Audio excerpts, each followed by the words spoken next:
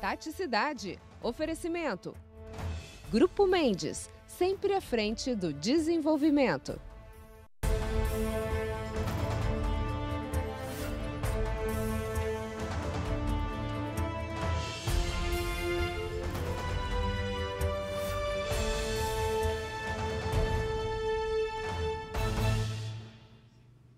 Morre Pelé. O rei do futebol faleceu agora à tarde, aos 82 anos, vítima de um câncer de colo. Mas para a história, o rei é eterno. Nessa edição especial do Tati Cidade, você vai acompanhar a carreira do atleta do século nas Copas do Mundo. Histórias de quem teve o privilégio de conhecer Edson Arantes do Nascimento. E as últimas informações sobre o velório na Vila Belmiro. Nós vamos direto para lá agora com o repórter Fábio Garcês, que está lá e traz mais informações para a gente. Garcês, como é que está a movimentação por aí? A gente está vendo as imagens. Alô, Roberta, por aqui, depois do anúncio da morte do Rei Pelé, já tem muita gente em frente à Vila Belmiro, fãs, admiradores do futebol do Rei. E dentro da Vila Belmiro foi montada uma estrutura no meio do campo para receber o corpo dele, né? Os familiares e o presidente da República ficarão em lugares separados os eternos ídolos dos santos vão ter acesso a essa parte do velório. O funeral terá quatro tipos de acesso para as pessoas entrarem na Vila Belmiro. No Memorial das Conquistas e dentro da Vila Belmiro terão acesso os go governador, os senadores, deputados, além do presidente do Santos Futebol Clube. No Salão de Mármore, membros do conselho do clube, vereadores e alguns convidados. Os fãs do Rei do Futebol vão ter acesso pela rua. Nesse momento, muita gente em frente à Vila Belmiro, imprensa, admiradores, como você pode ver nas imagens. A cerimônia só deve começar quando chegar o corpo do rei do futebol. E o cortejo, depois da cerimônia do velório, o corpo deve seguir em cortejo pelas ruas da cidade. Roberto. Muito obrigada, Garcês. Daqui a pouco a gente volta com mais informações direto da Vila Belmiro. Ele jogou, encantou, virou lenda e lendas são imortais. Pelé descansou. Deixou um enorme legado imbatível no esporte mundial. É o único a ter conquistado três Copas do Mundo como jogador. A cada jogada, a cada drible, a cada gol, conquistou mais e mais admiradores. É o que você assiste agora na primeira parte da reportagem especial de Fernando De Gasperi e João Leite.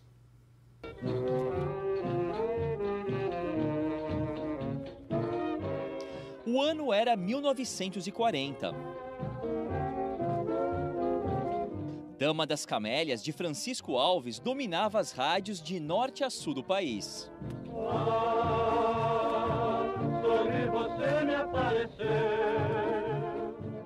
Brasil via o presidente Getúlio Vargas assinar o decreto que criou o salário mínimo. São Paulo ganhava o Autódromo de Interlagos e o mundo ganhava um novo rei. Um rei sem berço de ouro, Edson Arantes do Nascimento nasceu numa família simples, em Três Corações, no interior de Minas Gerais. O nome foi uma homenagem do pai, seu Dondinho, ao grande inventor americano Thomas Edison. Dondinho, aliás, era jogador de futebol. A profissão fez com que a família saísse de Três Corações, em Minas Gerais, e fosse para Bauru, no centro-oeste paulista. Foi lá que a carreira nos gramados começou. Aos 10 anos, Edson já vestia a camisa do Bauru Atlético Clube. Aqui é a carteirinha do Dico, quer dizer, do Pelé. Dico era o apelido de infância da Liga Bauruense de Futebol. Foi nessa época que o pequeno Edson deixou de ser Dico.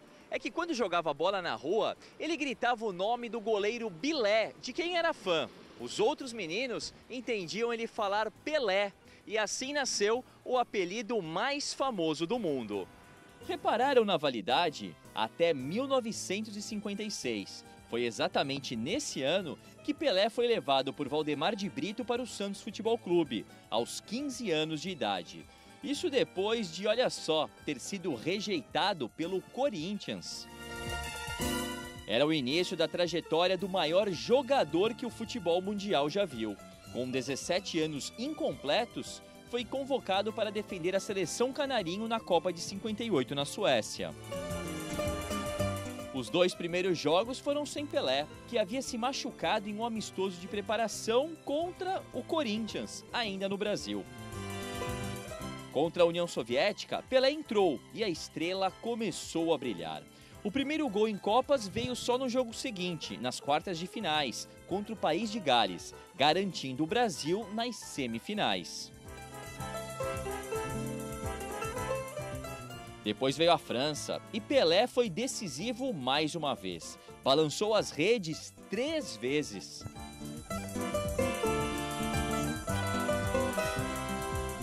Na final contra os donos da casa, o Brasil venceu por 5 a 2, com Pelé anotando mais dois gols.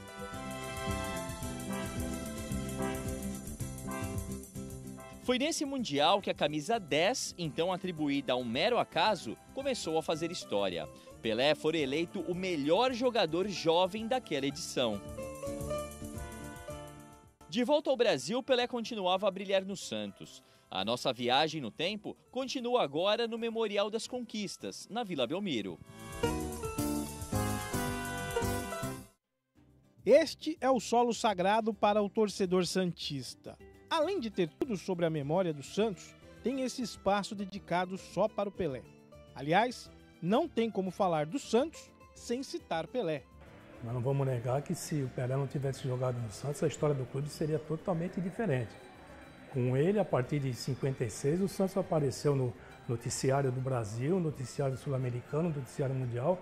Santos foi destacar a cidade na Europa. A partir do Pelé na Europa, em 59, o mundo todo passou a ver o Pelé. Ele já tinha sido campeão do mundo em 58, 59, na primeira vez que o Santos vai para a Europa. Pelé já marcou o nome do Santos, foi uma excursão vitoriosa na Europa. Aqui no Memorial das Conquistas, que foi inaugurado em 2003, Pelé é destaque.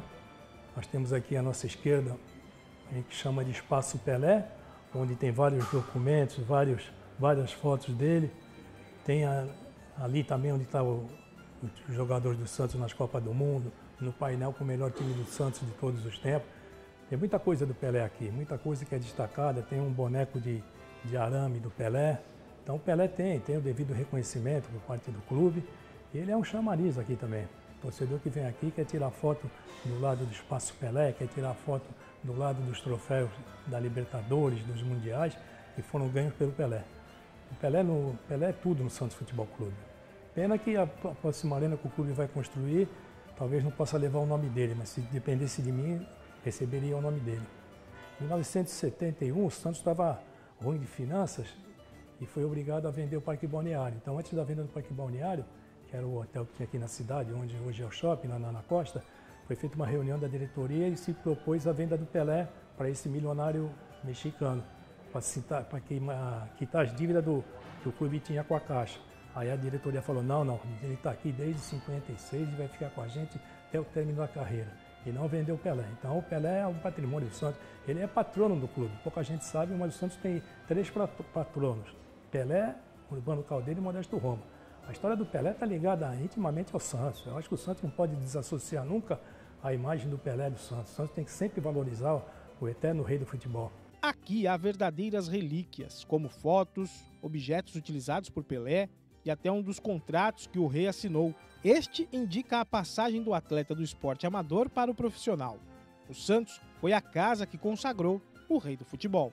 Dentre as memórias de Pelé, aqui no vestiário tem uma que segue viva. É o armário do rei, que é mantido o original desde que ele começou no clube. Aliás, pode haver reformas na parte externa aqui do armário, mas o interior é de fato o original e é guardado aqui. E aí, olha só que curioso, diz a lenda que em 1974, Rei Pelé Santos ia jogar contra Ponte Preta. Aí o Pelé se preparando aqui com seus amigos, né, com os jogadores, disse: "Vou ganhar e para ganhar vou guardar um objeto que vai me dar sorte e trazer a vitória". Bom, este objeto até hoje ninguém sabe só quem estava naquele dia, naquele jogo, viu o rei guardar e o próprio rei Pelé. Ele guardou, jogou. E não é que foi 2 a 0 para o Santos? Eles ganharam. O objeto está trancado E aí, somente Pelé pode dizer o que é que deu sorte naquela época. Graças a Deus que ele veio jogar aqui, veio de Bauru para cá, ficou aqui, gostou da cidade, gostou do clube, gostou das amizades dos jogadores e permaneceu 18 anos aqui. Vai fazer muita falta, né? Hora do intervalo no Táxi Cidade é rapidinho. Eu volto em instantes.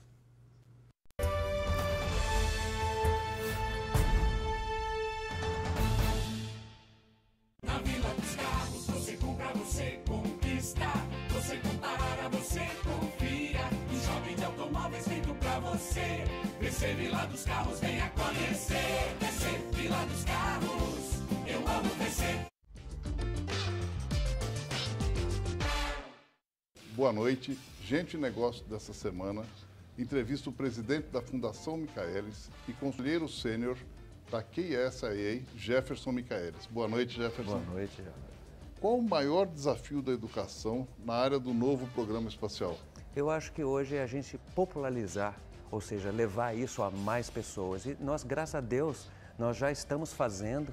É, esse ano, agora, 2023, nós completamos sete anos de uma iniciativa chamada Science Days. Nós, todos os anos, conseguimos chegar até 60 mil estudantes no Brasil, ou seja, o nosso grupo viaja ao Brasil todos os anos, entre março e abril, setembro e novembro, para fazer um evento exatamente de explicação, de mostrar para os estudantes, os educadores, os pais, famílias, o que é esse novo programa espacial e o que está acontecendo, as mudanças, as oportunidades. Então, a gente tem conseguido, até com várias parcerias de, de empresas, organizações americanas e brasileiras, levar esse projeto de popularizar o que, que é esse novo espaço, o New Space.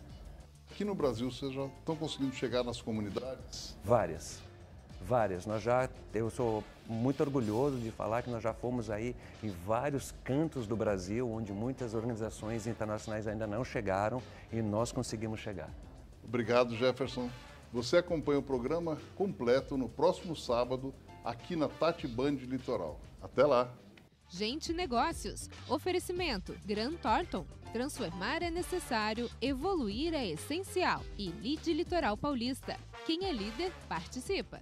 Procurando um imóvel para comprar, vender ou alugar? Com corretor você tem mais. Só com o corretor de imóveis você tem mais oportunidade de achar o imóvel ideal. Com corretor você tem mais. Só com um corretor de imóveis você tem mais segurança na hora de fechar negócio. Com corretor você tem mais. Só com o corretor de imóveis você tem mais tranquilidade. Procure sempre um corretor de imóveis. Uma campanha do Cresce, Conselho Regional de Corretores de Imóveis.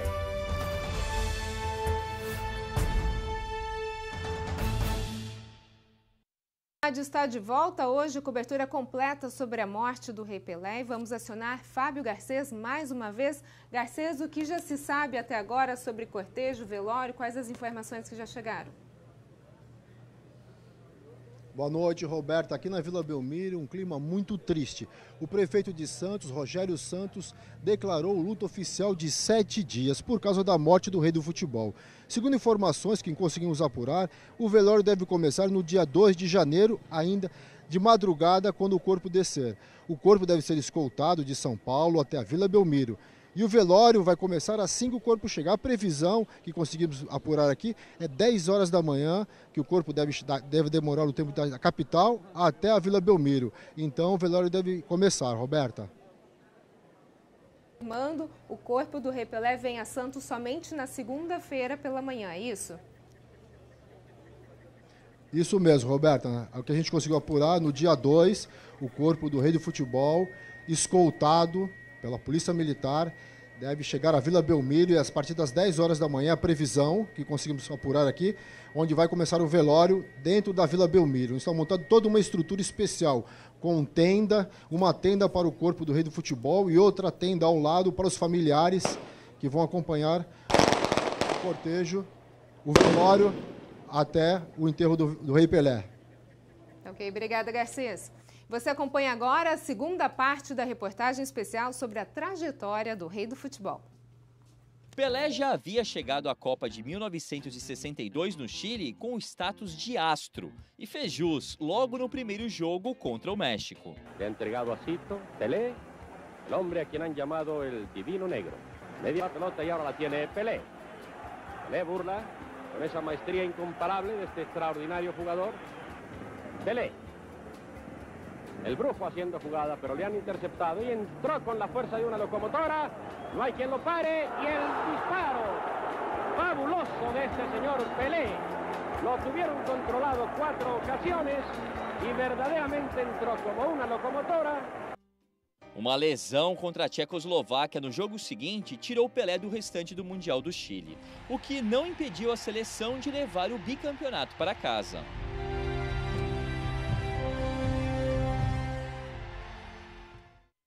A Vilma era criança naquela época, um amor que começou cedo. Eu acho que eu não tinha nem 10 anos, o Santos foi campeão. E aí eu fiquei doente, porque aí eu queria ver jogo tal. E o meu pai, desde pequeno, assim, ele me levava, eu pequenininha, ele me levava para ver jogos da base, da várzea. E aí, como eu gostava muito de ver jogos, aí ele, ele ia muito na Vila Belmiro, porque ele é era corintiano, e o pai dele né, teve a infelicidade de não ter um santista. Eu tive, graças a Deus. Aí ele começava a ir na vila tal, e eu falava, mas eu quero ir também ver jogo. E aí, um dia era um jogo Santos e Corinthians tal, e o Pelé estava lá, todo pomposo de branco, aquele branco, naquele homem foi demais. E aí o que mais me chamou a atenção foi quando alguém deu uma gravata eh, no pescoço dele e quebrou uma correntinha. É, e eu fiquei tão triste porque ele agachou, ajoelhou e ficou procurando a correntinha. Eu não sei se ele achou essa correntinha, mas eu fiquei muito triste. E aí eu passei a gostar do Pelé. E você já fez algumas, vamos dizer, artimanhas para chegar perto do ídolo? Conta uma delas pra gente. Aí eu já, já fiz várias coisas. Uma delas foi na inauguração da, da- do memorial lá do Santos, Memorial das Conquistas. Eu, nossa, eu queria ser convidada de qualquer jeito. Ai, finalmente eu fui. E aí tirei algumas fotos com ele, mas eu só tenho uma foto que um amigo tirou que saiu boa. E depois eu comecei a correr atrás do homem, porque também tem uma coisa, quando ele casou, em 69, quando ele casou, eu, eu fiquei assim tão desesperada porque ele casou que eu fiquei sentada no canal chorando. Eu não me conformava com o casamento dele, não me conformava. O tempo passou, tal, né? Aí eu vim morar na Ponta da Praia justamente porque ele morava na Ponta da Praia. Eu fui fazer faculdade justamente porque ele morava perto, então todo dia às 8 horas da noite eu sentava no canal para vê-lo abrir a garagem e ele entrava. E aí, assim, a loucura maior mesmo que eu fiz foi quando ele foi eh, inaugurar um centro esportivo eh, lá de Cubatão, fizeram uma estátua para ele. E aí eu fui, poxa, mas foi muito difícil chegar perto dele. Mas eu não desisti, fiquei lá fora sentada no carro esperando por ele. A hora que o motorista saiu, eu saí correndo atrás. E pá, pá, pá, entrei na Vianchieta, uma loucura, caminhões para lá, caminhões para cá. E eu consegui ficar ali atrás deles. Só que chegou uma hora que eu pensei, vai que o motorista chame a polícia, né, por ser de repente um sequestro e tal, e eu peguei e deixei o carro deslanchar e eu fiquei atrás. Mas quando eu cheguei na entrada de Santos, ai, que maravilha, quando eu olhei para o lado, no semáforo fechado, quem eu vejo? Mané Maria ao lado do Pelé. Ai, eu não, não contei duas vezes. Olhei, abri assim a, a janela e gritei, Pelé, eu te amo! Aí ele, o Mané Maria abriu assim o vidro e ele pegou, olhou para mim, aí eu falei, Pelé, eu te amo. Há muitos, muitos, muitos, muitos anos eu era pequena quando eu aprendi a te amar. Aí ele falou, não fala assim, você é muito nova. Falei, não, mas é verdade, eu te amo muito, muito mesmo.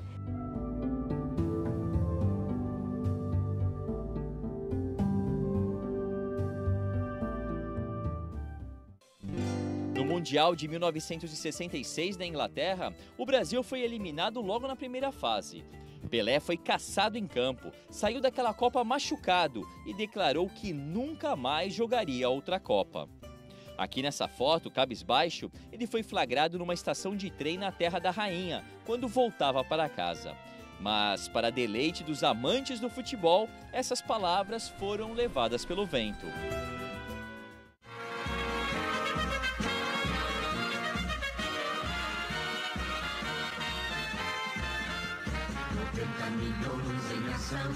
pra frente Brasil, do meu coração. Durante as eliminatórias para a Copa de 70, o técnico João Saldanha chegou a dizer que Pelé tinha um problema na vista.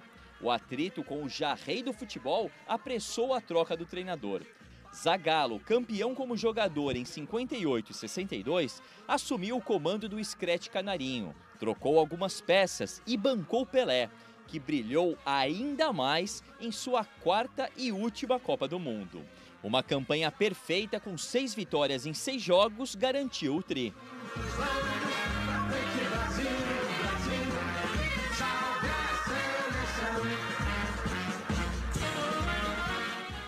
Na final contra a Itália, Pelé anotou quatro gols e foi eleito o melhor jogador no México.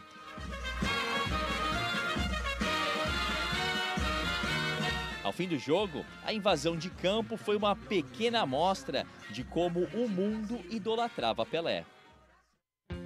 O Cosmo viu Pelé brilhar nos campos e fora deles. Ele é fundador da torcida Jovem do Santos e conta que o grupo de torcedores só surgiu por causa de Edson Arantes, do Nascimento. Olha, eu tive a felicidade de menino ainda, bem menino, conhecer o Rei Pelé é, no vestiário do Santos, e aí pegamos uma certa amizade, todos os jogos a gente se via, e puxa vida, e ele sempre respeitando a gente, a gente lá torcendo para o nosso querido Santos Futebol Clube, e ele falava, essa é a nossa, os, no, os nossos jovens torcem pelo Santos, a nossa jovem torcida. Em 1969, 26 de setembro, nós for, tivemos uma reunião e formamos a torcida jovem do Santos.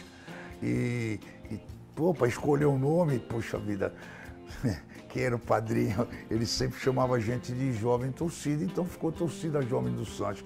É o nosso padrinho é o Pelé, então por causa do Pelé, a torcida jovem recebeu esse nome em 1969, 26 de setembro. E a partir daí, né, a gente teve muita convivência com o rei. Depois dos meus 14 anos, puxa, toda vez que tinha um jogo no Morumbi, na Vila Belmiro, no Parque Antártica, seja onde for, a gente encontrava o Pelé. E, poxa vida, ele sempre respeitou, a gente viajava já para o interior, a, a, atrás do Santos, né? porque dentro do nosso slogan, com o Santos onde como ele estiver, sempre nos respeitou, nunca deixou de atender um torcedor, nunca deixou, nunca viu o Pelé negar tirar uma fotografia, poxa vida, e era muita gente, né? Naquela ocasião era muita gente. Poxa vida, é, ser Pelé não é fácil não, porque todo mundo queria tirar foto, queria autógrafo, e ele nunca deixou de atender. Além de todo o carinho dado aos torcedores do clube, Pelé também gostava de cuidar da aparência.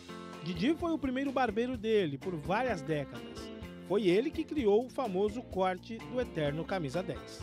Vinha sempre aqui, ele vinha duas vezes por mês para cortar o cabelo.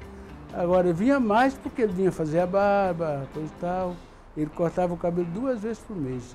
Ele colocava um pente aqui, ó. Se segurasse, cortar o cabelo. Porque é, era passada a máquina, né? Passada a máquina. Segurou, corta, corta. E o cabelo dele, você sabe como é que é. É do jeito que é durinho, cortava o pentinho e carrava. Aí cortava o cabelo. Didi ainda lembra que nos dias em que Pelé ia cortar o cabelo, a barbearia ficava lotada e o rei atendia um por um. Ali é gente, é gente mesmo e ainda mais um pouco porque o homem é bom mesmo. O alemão também conviveu com o Pelé. Ele é proprietário de um bar em frente à Vila Belmiro e também guarda bons momentos na memória vividos ao lado do rei do futebol. Se o Maradona é o Deus, é um, um santo, né? Na Argentina, o, o Pelé para nós é um Deus. Mas ainda mais para a torcida dos Santos, que todos os títulos que os Santos têm, e, no começo é tudo dele, né, meu? Não, nós o Santos não seria o Santos sem o Pelé, né? Cheguei a conhecer o Pelé, conheci o Pelé, nunca vi jogar, né? Que eu cheguei no Santos em 76. Ele parou em 74. Mas conheci o Pelé, conheci o Pelé, conheci a, vida dele todinha, fazer o cabelo dele no Didi. Conheci muito ele, muito. Fui no Guarujá, fui na praia, na, na casa do Canal 7 dele. Pelé é amigão, amigão, amigão, amigão, ajuda todo mundo, é, é um amigão mesmo. Todo mundo que conhece ele gosta dele. A amizade que ele tem com as pessoas, principalmente com os veteranos. Eu falo com os veteranos do Pelé, todo, todos eles gostam. Manuel Maria, então, até fala do Pelé, até chora, né? O Manuel Maria, um dos grandes pontas de direito do Santos teve, até chora quando fala de Pelé. A amizade e a admiração por Pelé, em forma de música, que o amigo Cosmo canta com muito carinho. Pelé, volte para a seleção, defende o futebol pelo Brasil tricampeão. Oh, rei Pelé, volte como puder, a torcida inteira em pé, volte, oh, rei Pelé. A gente volta já já.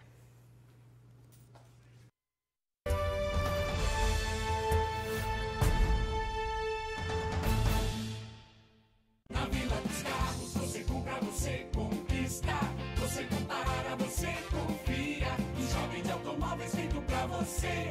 Descer Vila dos Carros, venha conhecer. Descer Vila dos Carros, eu amo descer. Inspirado no seu olhar, no seu jeito de ser.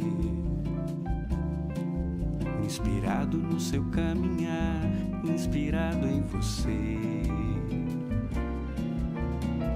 Onda que vai, onda que vem, assim como a moda que a gente conhece tão bem Praia, sol e mar e pra inspirar, Praia Mar.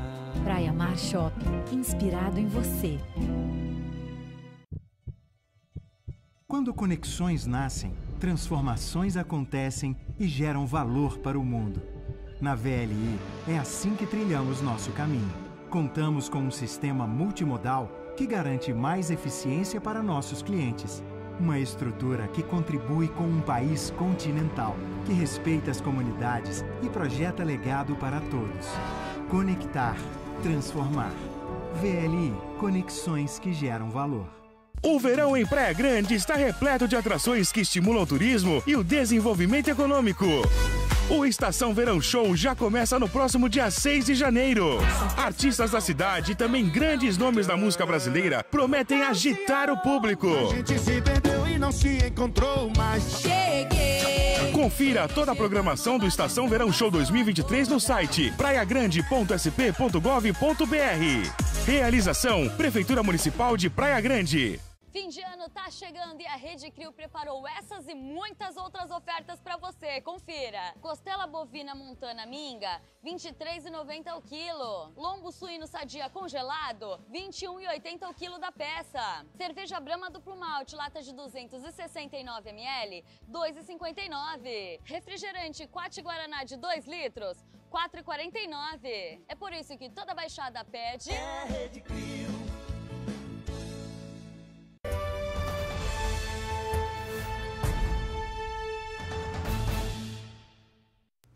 Entre as homenagens a Pelé, Pepe deixou também a dele. Vamos ver. O mundo inteiro sabia da gravidade da doença de Pelé, mas principalmente nós, os mais chegados e mais íntimos, tínhamos mais contato com ele e seus familiares. E tínhamos também a esperança de que o quadro se revertesse. E o rei da bola, o maior de todos, voltasse ao nosso contato com seu sorriso alegre e seu bom humor constante. Mas não foi possível e Pelé nos deixou. E com ele a lembrança eterna do maior futebolista de todo e sempre. Descanse em paz, Pelé, meu grande amigo. O futebol está de luto. O Brasil se despede do rei. Nossos sentimentos aos amigos e à família de Edson Arantes do Nascimento. Amanhã eu volto às 10 para 7 da noite. Adeus, Pelé.